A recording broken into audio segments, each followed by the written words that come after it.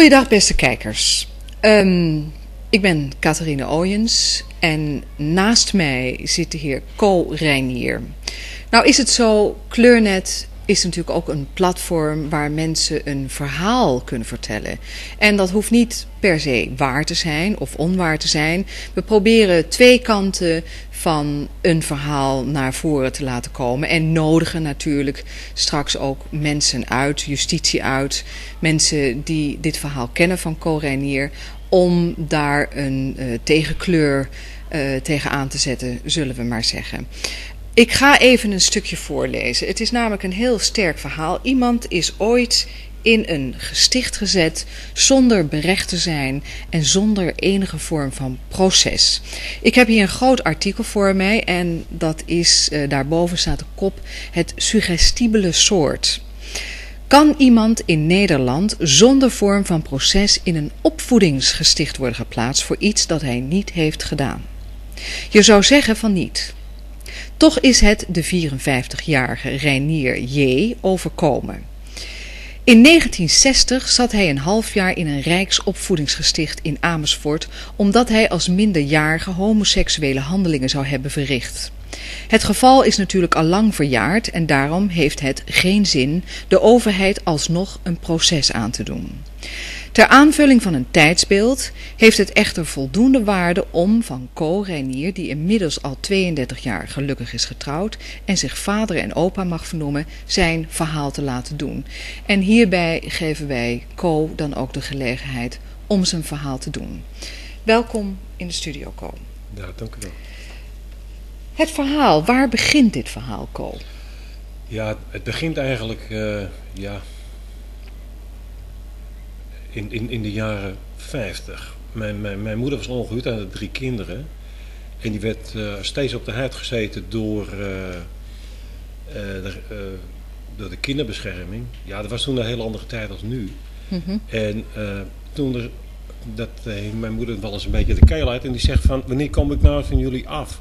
En toen zei zo'n zo'n zo'n ambtenaar, zo'n politieagent van de, van de. Nou, als u gaat trouwen mevrouw, dan bent u van ons af. En toen is mijn moeder in 1950, 51 getrouwd. En, uh, dat Met jullie vader? Uh, nee, want uh, mijn moeder was ongehuwd, maar mijn moeder had drie kinderen. Mm -hmm. en, van dezelfde vader neem ik aan? Van dezelfde vader. Okay. En ze is later is ze met iemand anders getrouwd waar één dochter uit voortgekomen is. Hm. En, maar dat is eigenlijk van het begin af al een mislukking geworden. Want na een poosje werd er ook alweer echtscheidingen mee gedreigd en zo. En uh, er is, uh, nou, afijn, wij kwamen weer onder de Raad van Kinderbescherming te staan. En omdat het eigenlijk een beetje rommelde bij ons thuis, kwamen wij onder toezicht te staan. Hm. Wij kregen een gezinsvoogd. Een meneer. Ik zal, ik zal het nooit vergeten. Maar goed, hij... van, vanaf het eerste moment al uh, wou hij mij uit huis plaatsen. Maar daar had ik helemaal geen zin in. Ik woonde thuis goed. Ik werkte ergens in, bij, uh, in, in, in de metaal als lasser. Dus ja, uh, hij, wat hij dus wel, en dat heb ik later begrepen, hij was homoseksueel, die man. En hij, hij, vertelde tegen me, ik ben gehuurd, maar dat was, in, in die tijd was het zo, om, om, een baan te krijgen moest je dus getrouwd zijn met anders, dan, dan kwam je ergens niet een aanmerking voor. En, maar, en hij vond me wel aardig en leuk en hij probeerde mij ook een beetje te versieren. Maar ik had er geen interesse in. Ik heb meteen tegen hem gezegd, ik ben een hetero man. Of een hetero jongen. En uh, ik kijk liever naar meisjes. Toen, uh, toen zei hij tegen me, ja, toch wil ik wat met je doen. Ik zeg, nou doe dat nou maar niet. Hij zegt, uh, als je niet op mijn avances ingaat, dan ga ik naar de, naar de kinderrechten voor je en dan zal ik zeggen dat jij homofiel bent en dan zal je wel een zware pijp roken. Ik zeg, nou, je bekijkt het maar en je doet het dan maar. Hm. En uh, ik, toen hoorde ik een poosje niks. En plotseling, uh, nou, ik, ik, ik was op mijn werk. Ik, ik was ondertussen al twintig jaar geworden. Uh, in, en toen op een maandagmorgen, dat was 4 april, toen kwam er een overwagen met twee agenten voor het bedrijf. En die, die uh, liepen de bedrijfshal in met de portier voorop en die wees van, nou daar, dat is hem. En er kwam er een agent op af en hij, vroeg mijn naam. Ik zeg, ja, dat ben ik. Hij sloeg me in de, in de boeien en hij nam me mee. Ik werd in een, eh, zo'n zo'n eh, arrestantenwagen gezet. En eh, ik kwam in de Lange Lijnse dwarsstraat in een celletje terecht. En ik werd op transport gesteld naar eh eh, Amersfoort. Naar het jongensgesticht. Nou, zo'n uh, Rijksopvoedingsgesticht.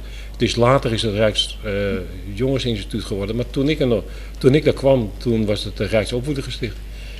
En eh, ik vroeg meteen van wat er aan de hand was over een advocaat kon spreken. Dat was allemaal niet. Ik moest mijn mond houden en ik kreeg gestichtskleding aan. En ze hebben me een week of drie, vier in een celletje opgesloten. En later toen kwam ik in de werkplaats terecht. Als, nou ja, ze hadden daar eh, metaal en eh, ook eh, timmeren. En ik, ben, ik dacht bij mezelf, ik krijg jullie nog wel. Nou, ik, ik ben, wat, is, wat die mensen me allemaal niet suggereerden van dat ik zus was en zal was en dit was. Goed, dus en, en moeder, hoe reageerde moeder? Ja, want moeder wist natuurlijk inmiddels dat jij in dat jongensgesticht was. geplaatst Ja. was. En Nou, ik, ik heb later mijn moeder gesproken. Nou, ze, was, ze is helemaal de klus kwijt geweest. Maar ja, toen in die tijd eh, eh, ging je zomaar niet naar een advocaat. Daar, ja, dat, dat deed je niet. Dat was alleen maar voor rijke mensen. En eh, ja, ik heb via een, brie- een briefwisseling met mijn moeder nog gezegd van... als ik eruit kom en ik ben 21, ik, ik hoef er nog maar een paar maanden te wachten... dan zal ik ze wel krijgen. Hm. Maar zover is het nooit gekomen. En hoe was dat nou voor u? U heeft daar in zo'n gesticht gezeten. U heeft dat ondergaan, neem ik aan, Ja. zonder al te veel verzet. Ja, ik heb, me, ik heb me niet verzet. Want ik dacht bij mezelf... Als ik me verzet, dan, eh, eh, dan zal het misschien nog wel erger voor me worden. Dus ik, ik hield me maar heel kalm en rustig. U hield u kalm. Ja. Vervolgens bent u uit dat gesticht gekomen. U eh, bent daarna getrouwd, u heeft kinderen gekregen en heeft de hele zaak laten rusten. Nou, ik durfde het, eigenlijk, want het was eigenlijk ik, ik kwam er dus uit en eh na, na een week had ik eh, weer een baan gevonden, gewoon als lasser. En ik denk, eh, ik krijg jullie wel. Maar na één of twee maanden, toen ik weer thuis was, toen kreeg ik verkering. En toen dacht ik, nou, hier ga ik wel mee trouwen. Ik heb eigenlijk werkelijk een beetje mijn mond gehouden, want ik durfde het eigenlijk niet te zeggen van... Het, was eigenlijk een hele keurige familie, mijn schoonfamilie. En ik denk, nou, als ik vertel dat ik een crimineel verleden achter de rug heb, dan eh, kan ik Zo. fluiten. Fluiten naar dat meisje natuurlijk. Dus ik denk, laat ik maar mijn mond houden. Ik denk, ik ga wel een advocaat zoeken die, eh, die me wel helpt. Maar eigenlijk is het er nooit van gekomen, want ik kreeg een paar kinderen en toen dacht ik bij mezelf, ja, dan kan ik wel naar justitie gaan. En als ik dus naar die rechter toe ga, dan heb je kans dat die rechter misschien mijn kinderen afneemt of zo. Dus ik ben eigenlijk door de angst eigenlijk, wat misschien wel boven mijn hoofd hing, heb ik eigenlijk een beetje mijn mond gehouden. Ja. Dat- Ik heb, ik heb wel wat anders eh, is er gebeurd. Ja. Ik kwam een van die agenten tegen die mij toen van de fabriek had eh, genomen. Ik zeg, eh, toen ik hem sprak, zeg ik, nou meneer, kijk, ik ben die en die. Hij zegt, ik, ik vond het al zo vreemd. U van uw werk afhalen. Hij zegt, dat was, was hem nog nooit gebeurd. Hij zegt, u moet daar werk van maken. Hm. Ik, maar ja, ik heb maar mijn mond gehouden, want ik, ik, ik durfde, nogmaals, ik durfde het niet. Hoe lang heeft u nou uw mond gehouden? Nou, ik dacht sinds eh, nou, 25 jaar. 25 jaar. En wat maakt dat u nu besluit om dit verhaal naar buiten te brengen? Ja, eigenlijk eh, niemand wou eigenlijk aan, eh, naar mij luisteren. En, eh, U heeft het wel een aantal keer geprobeerd. Geprobeerd, ja. geprobeerd. Heeft, u, heeft u dit verhaal aan uw vrouw verteld? ja, ja, ja. Wanneer? Ja, ik dacht in, in 586 pas. Dat was, hoe lang? Dat is Nou, dat- 17, dat- dat 25 25 jaar, 25 van jaar 25 jaar nadien. daarna, ja. En hoe reageerde uw vrouw? Ja, die was me stom uitgeslagen. Die, die, eh, maar voor aan, aan mijn gedrag wa- was ik helemaal... Nou, dat, dat vond ze helemaal niets aan. Meestal word je dan wel eh, onrustig. Maar ik, ja... ik bedoel, Ik eigenlijk dus niet. Ja, ik, ik had niks gedaan, dus ja... Wat, eh, wat ja... waar- Waarom zou ik dan druk maken? Ja, druk maken in zoverre. Eh, ik wou dat eh, justitie me eigenlijk een briefje zou schrijven van... Sorry meneer, het is een slip over de pen geweest. En eh, die meneer eh, die gezinsvoogd, die, eh, die is eigenlijk niet goed geweest. Hm. Eh, hoop maar dat, dat, dat u het ons vergeeft. Dat had ik eigenlijk veel leuker gevonden. U had een excuus willen hebben. Eigenlijk een excuus willen hebben, ja. En, en wat heeft dat nou precies voor u gedaan? Want het moet natuurlijk vrezen. U heeft zoveel, zo lang met een geheim geleefd. Met de steeds terugkerende angst dat, u, eh, eh, dat er inzage in het rapport zou komen. Hè, dat zou kunnen, waardoor uw werk, eh, eventueel uw kinderen, eventueel uw vrouw. Dus er u was voortdurend op het kantje boord van, van het kunnen verliezen Ja, van dierbaren en, en dierbaar werk. Of vergis ik me daarin? nee. Het, het is wel, het, keer is het wel tegen me gebruikt. In, eh in, in 162. Toen eh, is die, die gezinswacht, die meneer Verrijen, heeft mijn werkgever gebeld. Toen, ik werkte toen mijn werkspoor. En die heeft eh, gezegd dat ik in, in de gevangenis had gezeten. En toen, eh, toen kwam de chef en de, en de chef, de, de, de hoogste chef en de chef van de werkplaats, kwamen naar me toe. En eh, ik, ik kon mijn biezen pakken en inpakken en wegwezen. Hm. Nou, maar ja, ik was een vakman, dus ik kon overal werk krijgen. Maar ik vond het wel jammer, want ik zat daar eigenlijk wel goed. Ja. Het was een heel, was een heel goed bedrijf.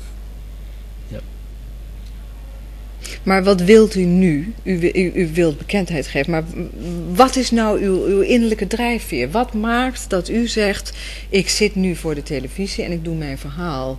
Ik wil op de een of andere. Wat, wat wilt u precies? Nou, wat, wat ik wil is dat, eh, dat justitie of, of rechters niet meer de macht hebben en kunnen krijgen, eh, hoe dan ook, om mensen zomaar eh, van hun werk of uit een huis te plukken. Eh, en dan zomaar in de gevangenis stoppen of opsluiten in, in het huis. Dat, eh, dat, dat wil ik niet meer. Ik wil eigenlijk eh, hebben dat justitie op dat gebied heel goed aan banden wordt gelegd. Dat is, is dat niet een klein beetje naïef? Want het onrecht in de wereld is wat u is aangedaan, met alle respect hoor. Ja. Eh, maar dit onrecht wat u is aangedaan, is natuurlijk een onrecht wat continu gebeurt op, in verschillende landen, op verschillende terreinen, dat mensen ten onrechte worden beschuldigd. Eh, van iets door de behoefte van de macht van iemand anders Ja. of de wraak van iemand anders. Ja, En dat wat, wat eigenlijk ook binnen dit artikel staat, is dat iemand heeft een stuk wraak gezocht en heeft u dat min of meer ook van tevoren medegedeeld. Moet u dan niet terug naar de persoon eh, die dit in actie heeft gezet? Zou u niet veel meer contact kunnen zoeken en deze vete, die ooit begonnen is door iemand die bleek homoseksueel te zijn en die eigenlijk iets wilde met u en hem tegen zijn trots heeft, eh, tegen het Ja. scheenbeen heeft geschopt. Heeft u wel eens contact gezocht met deze meneer? Nou, daarna, nou, sinds eh, 60 niet meer. Waarom niet? Waarom Ja. niet met deze meneer die dit allemaal in gang heeft gezegd? Als ik uw Nou, woord, ik, eh, ik, ik, ik had hem willen aannemen. vermoorden. u had hem willen vermoorden. Maar dat heb ik dan maar niet gedaan, want ik, ik, ik, ik, ik wou, ik wou me verder zelf niet in, in, in moeilijkheden meer brengen. Ik denk, ja, ik, ik, ik had verkering, ik had een goed werk, eh, ik had, ik had, ik had een goede baan. Ja, ik, ik deed weer aan sport en zo, dus ik denk, laat maar. Hm. Ik krijg je wel op een andere manier. Hm. Ik denk, ik ga naar een advocaat, want ik was toen van plan om naar- naar in de ruil te gaan op de Heergracht.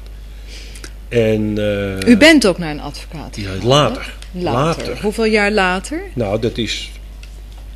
Ik, nou, dat in, de, in de jaren tachtig is dat geweest. De heer Warnaar was Ja. dat, hè? Ja. En wat heeft de heer Warnaar hierop gezegd?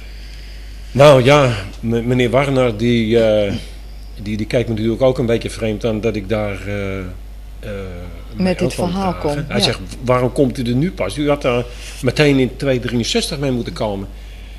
Ik zeg: ja, meneer, ik zeg: ik, ik begin er weer van te dromen straks. Ik zeg: u moet maar eens even voor me kijken wat, eh, wat de drijfveer eigenlijk was geweest. Toen zei hij tegen mij: eh, ik, ik zal dat voor u doen. Hij zegt: maar als er één smet op uw eh, verleden is, hij zegt, dan kan ik bij het. justitie dan niet meer aankloppen. Ik zeg: meneer, ik ben onberispelijk van gedrag. Hm. Ik zeg: kijk, en inderdaad, hij zei: meneer, u hebt de waarheid gesproken. Hm. Hij zegt: maar ik kan nog verder niets voor u doen. De zaak is verjaard. Hm. Dat is jammer.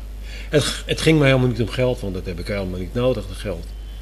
Maar ja, de, Het de, gaat de, om, de, de, de, de, de, de onrecht, de onrecht, het onrecht wat u machteloosheid wat gedaan daar- is, ja, hè, wilt u ja, rechtgezet Die wil ik hebben. Hm. rechtgezet hebben.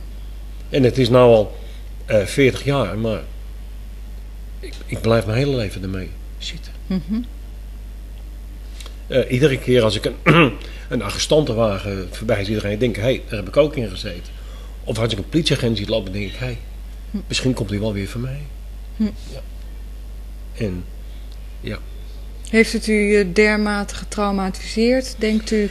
En dat u het trauma in eigenlijk nooit echt goed verwerkt hebt? U hebt Nou, het, die- heeft het al die jaren onderdrukt? nou, die, meneer Warner zegt tegen mij, u moet naar de psychiater. Ik zeg, ik naar de psychiater? Die rechter die moet naar de psychiater. Die, die is fout. Zeg, niet ik. Hij zegt, doet u dat nou maar, gaat hij naar de psychiater, dan eh, praat u er maar eens mee. Nou, ik, eh, ik ben toen bij een psychiater geweest en eh, ja, het enige wat hij me aan kon raden was, ik moest er veel over praten. Mhm. Maar ja, als ik met, met, met iemand erover sprak, dan keken ze me een beetje vreemd aan. En dan zeiden ze, ja, je zal wel een inbraak hebben gepleegd, of je zal wel een verkrachting, of je zou... Nee, nee. Is het niet zo dat, eh, dat de ongeloofwaardigheid op een bepaald niveau natuurlijk meespeelt, waardoor uw integriteit eh, eigenlijk een beetje aangetast wordt hierdoor? Ja, want ook omdat, dat, dat kan niet in Nederland zeggen ze, dat, dat, bestaat niet. Het is, als jij eh, ergens geplaatst wordt, dan, dan, dan, dan komt eerst de politie en dan, dan wordt het een officier van justitie en dan eh, komt daar eh, een rechtszaak van, dan krijg je een advocaat. En ik zeg, nee, het is bij mij niet gebeurd. Ik werkte en ik werd van mijn werk afgehaald en En de Ja. heer Warnaar, die heeft, die, ik heb hier een heel dossier voor me liggen. ja, ik heb nog veel meer van het, maar Ehm, dit is... En wat heeft de heer Warnaar uiteindelijk gezegd? Hij heeft gezegd, ik kan u niet helpen, want het is verjaard. het is verjaard. Ja, ja hij, waarom heeft hij het dan aangenomen in eerste instantie? Nou, eh, eh, nou hij, heeft, hij heeft maanden, hij is er maanden mee bezig geweest. Maanden Ja. mee bezig geweest. En ik, daar heb ik ook weer één... eh, ik ben eigenlijk... heb ik eigenlijk ook een domme set gedaan. En dat is? Hij wou naar de minister van Justitie. Ja. En daar, nou, dat vond ik toch eigenlijk wel een hele stap. Ik was een beetje ongeduldig. Hij zei tegen me, meneer, wij gaan naar de, of, naar, naar de minister van Justitie. En wij gaan de zaak aankaarten. Hij zegt, het kan wel drie, vier, vijf jaar duren. Mhm. Hij zegt, maar dan, dan, dan, dan, dat is beter voor u ook. Ik denk, ja, zal ik dat nou doen? Zou ik dat nou niet doen? Dacht ik bij mezelf. Ik zeg, nou nee. Hij zegt, weet u wat? Dan krijgt u een gesprek met de kinderrechter. Ja. Nou, ik kwam dus bij die kinderrechter. En, en die mevrouw die zat zo. Deed maar. Ja meneer, ja meneer, ja meneer, ja meneer, ja meneer, ja meneer, ja meneer. Ja, dat, tuurlijk, meneer, maar dat kan niet. Dat, dat. Ik zeg, ja mevrouw. Ik zeg, heb u het dossier gelezen? Nee meneer. Ik zeg, waar, waar kunnen we dan over praten? Ja, ja, ja, ja, ja. Nou meneer, eh, eh, eh, ik heb nu weer een rechtszaak. Het gaat u goed. Weet u wat u kan doen? Gaat u naar Tuten, dan mag u het dossier inzien. Dus ik ben naar Tuten gegaan naar mevrouw van der Sluis. Ik zeg, mevrouw van der Sluis, ik ben bij mevrouw Lezer geweest. En ik mag mijn dossier zien. Ik zeg, want mij is onrecht gedaan. Oh, nou meneer, eh, eh, ik zal het dossier eh, voor u opzoeken. En u, krijgt van mij wel een briefje thuis. Dan kan u het inzien. Nou, dan kreeg ik een briefje van mevrouw van der Sluis. En toen kwam ik daar en toen lag het dossier daar. Ik zeg, nou, nee, zei ze, meneer, u mag het niet inzien. Ik zeg, waarom niet? Het ligt door elkaar. Ik zeg, ja, dat maakt niks uit. Ik, eh, Ja. ik zeg, maar mevrouw Lezer heeft gezegd dat ik het in mag zien. Nee, u mag het niet inzien. Nee. Ik zeg, oh, u hebt ontdekt dat die meneer Vrij, eh, die gezinsvoogd, mij het onrecht heeft aangedaan. Eh, u kunt goed toneel spelen, meneer Renier. Ik zeg, nou, daar gaat het helemaal niet om, mevrouw van der Sluis. Ik zeg, ik wil het dossier zien. Nee, mag u niet zien. En waarom mag u het dossier niet zien? Ik als weet het het niet. verjaard is? Ik weet het niet. Ze hebben me niet laten zien. Kijk, als ik u was, Ja. dan zou ik teruggaan naar de heer Warnaar. Ja. En zou ik het opnieuw aanpakken. Want als de heer Warnaar gelegen is, u genegen is om u te helpen, dan zou ik dat zo hoog spelen? Want u zegt net van ja, maar ik wil niet naar justitie toe. Waarom zou je dat niet doen? Als het onrecht wat u is aangedaan, als Hij- u dat hij- wilt Hij rechtzetten. wil het niet meer doen. Hij wil het nu niet meer doen. Nee, het, het, het is... eh, En waarom wil hij het nu niet meer doen? omdat voor hem de zaak is afgesloten. Omdat u nee hebt gezegd. Omdat ik nee heb gezegd. Ja, later had ik er spijt van. Toen wou ik, toen wou ik op terugkomen. Ja. Omdat ik zo schoftig behandeld werd door die eh, kinderrechter. En bent u erop teruggekomen? Ik ben erop teruggekomen. Ik heb hem meteen eh, later gebeld. Hij zegt, nee meneer, het is over. En ik ben, ik, hierna ben ik nog bij drie advocaten geweest. Maar En ze willen het niet in behandeling nemen. ze willen het niet in behandeling nemen. Om, ja, het is niet interessant, meneer. Of het is uit de tijd, meneer. Eh, eh, heb u 4000 gulden, meneer? Of eh, dan wil ik het wel misschien voor u doen en zo. En als u dit uitzoekt bij een, een suggestie, bij een psychiater, bij een psycholoog. En u gaat dit stukje verwerkingsproces met deze persoon in werking zetten en dan terugkomen op de voogd, uw gezinsvoogd, waar het allemaal mee begonnen is. Dat u met hem een persoonlijk contact aangaat. Hij, hij, hij is overleden, die gezinsvoogd. De gezinsvoogd Ja, is is overleden. overleden. Ja, die is al lang overleden. Ik hoorde het, ik dacht in 74. Dacht ik. Maar ja. Nou. Het, het, het, het is een beetje voor andere mensen die, die, die de stukken niet hebben gezien, een beetje moeilijk te begrijpen. Nou, ik begrijp, ik begrijp u wel Ja, hoor. Ik oh. begrijp wel dat dat onrecht wat een mens is aangedaan, dat daar een hele diepe traumatische ervaring uit ontstaat. En dat door de jaren heen, door de verdrukking van onrecht, dat er op een bepaald moment die, die, die onbewuste inhouden, zullen we maar zeggen, op een gegeven moment weer naar boven komen en aan de deur gaan rammelen. En dat doen ze nu klaarblijkelijk bij u. Het rammelt aan de deur. Nou, het, het U- rammelt al sinds 1983 bij mij aan de deur. Precies. Het Ja. rammelt aan de deur. En u weet er zelf ook niet goed raad mee, zie Nou, ik. nou Ik bedoel, u wilt uw verhaal doen, maar tegelijkertijd zijn er een aantal mensen die het niet meer aan willen nemen. Het is verjaard. het is verjaard. Ja. En, en, maar u, er is iets... Nou, ik, ik ben ook bij slachtofferhulp. borrelt. Ik ben bij slachtofferhulp. Ja. Nou, daar heb ik helemaal gelachen, bij slachtofferhulp. Ja. Ja, want eh, eh, ja, slachtoffer. Ik, ik zeg, ik ben, eh, ik, zeg, ik, ik, ben een slachtoffer van een eh, fout van eh, de justitie. Oh, ja, dan moet u niet bij ons zijn, dan moet u bij justitie zijn. Ik zeg, ja, maar de zaak is verjaard. Ik, nou, ik zeg, hier eh, is, zijn alle stukken. Kunt u het even nalezen? Ja, ja, ja. U moet naar de psychiater. Ik zeg, ja, ik hoef niet naar de psychiater. Ik zeg, die rechter moet... er- Maar ik wist niet dat die rechter ondertussen was overleden. Hm. Die rechter was overleden. En ja, maar ik had het niet over de rechter. Nee, nee, ik, had, nee. ik had het over de voogdijpersoon. Maar die meneer was ook al overleden. Oké. Dan Ik wordt ben- het... Ja, Ja, Nee. dan wordt het moeilijk. het is natuurlijk al 40 jaar, maar, het, maar Precies. het- ik ben ook nog een keer geweest bij. eh, eh, ook bij een of andere. eh, nou, de, de naam ontschiet mij nou zo. Dat, nou, die zaten ook op de keizerraad. Ik ben. Nou ja, goed. Eh, het, het, het schiet, ons, ontschiet mij zo. Ik ga u eh, een voorstel doen. Ja. Ik ga dit even afsluiten. Ja. Zoals u hoort, beste kijkers, dit is een verhaal van een man, een kleurrijk mens. En die eh, een platform zoekt om zijn eigen verhaal eh, te kunnen doen. Wij hebben dat gedaan. Wij vragen, want een verhaal is natuurlijk nooit eenzijdig. Wij hopen dat er mensen zullen zijn vanuit het verleden die dit verhaal kennen en Co een stukje willen helpen tot het verwerken van dit onrecht. Eh Co heeft daar naar mijn inziens wel behoefte aan. En dan geef ik nu het woord aan Co, die de laatste afronding mag doen van zijn eigen verhaal. Co, de camera staat Ja, dankjewel. Ja. ja, de afronding. Kijk, eigenlijk, ik, ik heb het al eh, toen net gezegd. Eh, wat ik dus eigenlijk wil is dat we in, in Nederland toch op moeten passen dat we niet afglijden naar een of andere staat waar, eh, eh, eh, ja, de, de, de overheid zomaar de, de macht over andere mensen kunnen blijven houden. Dat is eigenlijk wat ik wou zeggen.